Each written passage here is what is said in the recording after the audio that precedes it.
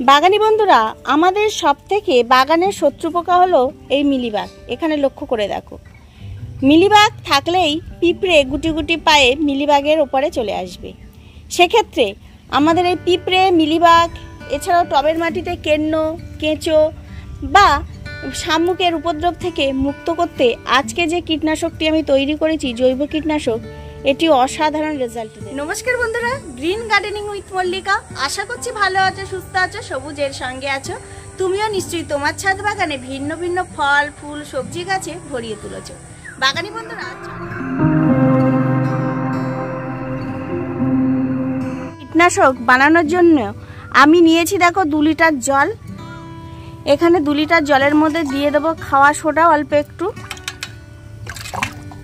ওই চা চামচের হাফ চামচ খাওয়া সোডা দিয়ে দেবে। বাগানি বন্ধুরা, এই জড়িবুটি জৈব কীটনাশক তৈরি করতে আরও বিশেষ কিছু উপকরণ লাগছে। তার মধ্যে নিম পাতা। নিম পাতাতে আমরা জানি সর্বগুণ সম্পন্না, আর এর মধ্যে নিয়েছি অ্যালোভেরার দুটো টুকরো আর দুটো কাঁচা লঙ্কা। এগুলোকে একত্রে মিক্সড করব। এবার অনেকের প্রশ্ন থাকবে, অ্যালোভেরা জেলটা কেন দেব? অ্যালোভেরা জেলে কিন্তু স্টিকারের কাজ করবে। স্টিকার বলতে এক ধরনের আঠা, জৈব কীটনাশক যেটা তৈরি করা হয়। সেই আঠা ওই জৈব কীটনাশকের মধ্যে দিলে সহজে পাতা থেকে ঝরে যাবে না, পাতার মধ্যে লেগে থাকবে। সেই স্টিকারের কাজ করবে এই অ্যালোভেরার টুকরোগুলো, আর লঙ্কার গুঁড়ো বা লঙ্কা প্রচুর পরিমাণে কাজ করে পোকার উপদ্রব থেকে গাছকে রোধ করতে, মুক্ত করতে, পিঁপড়ে এগুলো সহ্য করতে পারে না। তো সেক্ষেত্রে এই তিনটি উপকরণ আমি খুব ভালো করে মিক্সড করব। এর পাশাপাশি আরও বেশ কিছু উপকরণ দেব। দেখতে থাকো। যে কীটনাশকের জন্য নিম পাতা, লঙ্কা আর যে অ্যালোভেরা জেলটি মিক্সড করেছি, সেটিও দিয়ে দেবো।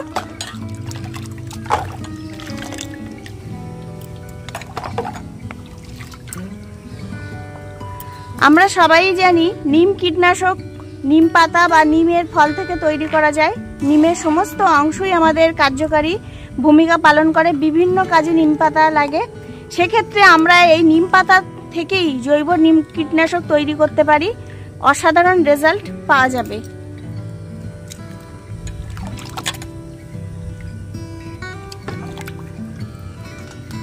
এর পাশাপাশি দিয়ে দেবো চা চামচের এক চামচ গুঁড়ো হলুদ। দেড় চামচ মতো দিলাম। গুঁড়ো হলুদে যে ফাঙ্গাসজনিত রোগ এছাড়াও পোকার উপদ্রব থেকেও মুক্ত করে। গুঁড়ো হলুদে প্রচুর পরিমাণে অ্যান্টি অক্সিডেন্ট থাকে। তার পাশাপাশি মিলিবাগ ছত্রাকজনিত রোগ দূর করতে আমরা বরফ ব্যবহার করব। মিলিবাগে আমরা যদি বরফ জলে স্প্রে করি, এতে কিন্তু মিলিবাগ ঝরে যায়। এর পাশাপাশি গাছে যদি পাতা কোঁকড়ানো রোগ থাকে, সেক্ষেত্রে আমরা এই বরফ জলে স্প্রে করলে অনেকটাই পাতা কোঁকড়ানো রোগও দূর হয়ে যায়। এখানে দিয়ে দেব বরফ। দিয়ে খুব ভালো করে উপকরণটি মিক্স করব। এখানে আরও একটি জিনিস দেখায় যাদের স্প্রেয়ার মেশিন নেই, সেক্ষেত্রে তোমরা সরু ছুঁচ অথবা সেফটিপিন দিয়ে এরকম ছিদ্র করে নিতে পারো। নেওয়ার পরে এই, এরকম ধরনের বোতল নেবে, খুব ভালো রেজাল্ট পাবে এই দেখো।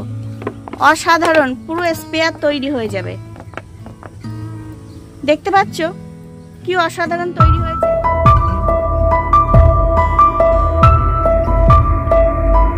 বন্ধুরা, বরফগুলো গুলে গেছে। এবার কি করব? এই স্পেয়ার মেশিনের মধ্যে বা এই বোতলের মধ্যে আমি লিকুইডটি দেব।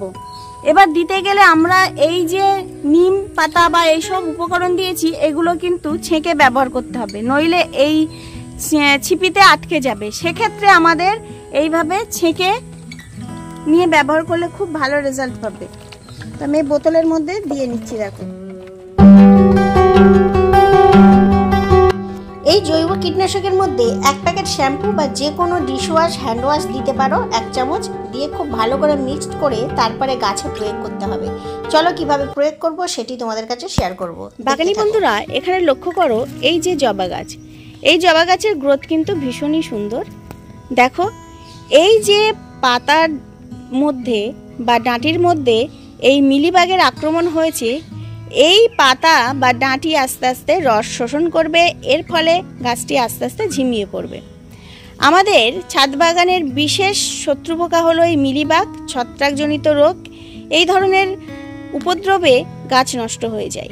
সেক্ষেত্রে আমি এই যে সহজ জড়িবুটি কীটনাশকটি তৈরি করেছি, এটি প্রয়োগ করে অনায়াসে তুমি ভালো রেজাল্ট পেতে পারো। বাগান থেকে চিরতরে এই ধরনের পোকার উপদ্রব থেকে মুক্ত করতে পারো বাগানকে। তো চলো বন্ধুরা আজকে আমি কীভাবে স্প্রে করব আর কতটা পরিমাণে দেব সেটি তোমাদের কাছে শেয়ার করব। তো দেখতে ঠাকুরা আমাদের প্রথমে দেখে নিতে হবে কোন জায়গায় এই মিলিবাগ বেশি করে আক্রমণ ঘটেছে। সেই জায়গাটা ধরে ঠিক এইভাবে স্প্রে করবে।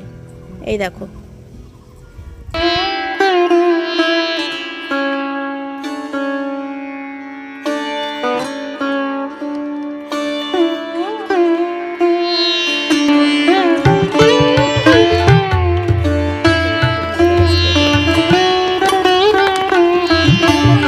এখানে ভালোভাবে লক্ষ্য করো। এই দেখো। টবের মাটিতে কিন্তু ঝরে গেছে। লক্ষ্য করছ? মিলিবাগ কিন্তু ঝরে পড়েছে। তো এরকম যদি, এই দেখো। তো এই কীটনাশক ব্যবহার করার পরে তোমরা খুব ভালো রেজাল্ট পাবে। এবার অনেকেরই প্রশ্ন থাকবে, কদিন অন্তর অন্তর প্রয়োগ করব? তোমরা এক সপ্তাহ অন্তর অন্তর প্রয়োগ করবে। যদি অতিরিক্ত হয়, তাহলে এক সপ্তাহ, আর যদি কম হয়, তাহলে দশ দিন অন্তর অন্তর। এই কীটনাশক স্প্রে করলে গাছের কোনো রকম ক্ষতি হবে না। গাছ সুস্থ থাকবে এবং পোকা রোগ উপ, রোগের উপদ্রব থেকে গাছ অনেকটাই মুক্ত থাকবে। ছাদ বাগানের প্রত্যেকটি গাছকে সুস্থ রাখতে গেলে আমাদের কিন্তু কীটনাশকের ব্যবহার অবশ্যই করতে হবে। এই দেখো। একদিন ব্যবহার করে তুমি ভালো রেজাল্টের আশা করলে কিন্তু হবে না। গাছে যদি অতিরিক্ত পোকার উপদ্রব ঘটে, সেক্ষেত্রে তোমাদের এক সপ্তাহ অন্তর অন্তর এই কীটনাশক তৈরি করে প্রয়োগ করতে হবে। এক মাস পরে দেখবে ছাদ বাগান থেকে পুরো পোকার উপদ্রব থেকে বাগান মুক্ত হয়ে গেছে। বাগান অনেক ফ্রেশ, সুন্দর এবং তুমি ফল ফুল সহজেই পাচ্ছ। গাছের যদি রোগ পোকার উপদ্রব থাকে, তাহলে তুমি আশা করবে না যে আমি ভালোভাবে ফল, ফুল, সবজি পাবো। যেহেতু অল্প মাটির মধ্যে সীমাবদ্ধ সেক্ষেত্রে আমাদের এদেরকে সবসময়ের জন্য যত্ন নিতে হবে। মাটির গাছে কিন্তু খুব বেশি যত্ন অবশ্যই লঙ্কা গাছেও দিতে পারো কোনো রকম সমস্যা নেই। লঙ্কা গাছের পাতা কোঁকড়ানো রোগ থেকেও এই উপকরণটি মুক্ত করবে। খুব ভালো রেজাল্ট বাগানি বন্ধুরা আরও একটি সহজ ঘরোয়া টিপস হলো যে গাছের অতিরিক্ত পাতা কুকড়ে গেছে সেই গাছকে কিন্তু আর সেই পাতাগুলোকে সুস্থ করা যাবে না। সেক্ষেত্রে অতিরিক্ত পাতা কোঁকড়ানো যে অংশ সেটি কিন্তু এইভাবে কেটে দেবে আর কীটনাশক স্প্রে করবে। তাহলে ভালো রেজাল্ট পাবে। আবার যে নূতন পাতা ছাড়বে, সেগুলো আবার নূতনভাবে তৈরি হবে। সেই পাতাগুলো আর কুঁকড়ানো বার হবে না। তো কুঁকড়ানো পাতাকে ঠিক করতে গেলে আমাদের কিন্তু সেই কুঁকড়ানো পাতায় কীটনাশকে ঠিক হবে না। আমাদেরকে নূতন করে আবার ব্রাঞ্চ বার করতে হবে। সেক্ষেত্রে অতিরিক্ত কুঁকড়ে গাছের যে পাতাগুলো, সেগুলোকে তুমি কেটে বাদ দেবে। আর এমনি নর্মালি স্প্রে করবে, দেখবে যখন পোকার উপদ্রব থেকে গাছ মুক্ত হবে, পাতা কুঁকড়ানো অনেকটা রোধ হয়ে যাবে। বাগানি বন্ধুরা, আমার বাগানের আমি এই সহজ সহজ জৈব সার, জৈব কীটনাশক প্রয়োগ করে ভীষণ ভালো রেজাল্ট পাচ্ছি। আশা করছি তোমরাও যদি ফলো করো, খুব ভালো রেজাল্ট পাবে। ভিডিওটি ভালো লাগলে সাপোর্ট করবে, পাশে থাকবে, পাশে থাকা বেল বাটনটা অবশ্যই বাজিয়ে দেবে। এরকম ধরনের ভিডিও নিয়ে আমি প্রতিনিয়ত আসতে থাকব। ভালো থেকো, সুস্থ থেকো বাগানি বন্ধুরা। আবার কোনো নতুন ভিডিও নিয়ে চলে আসব। টাটা।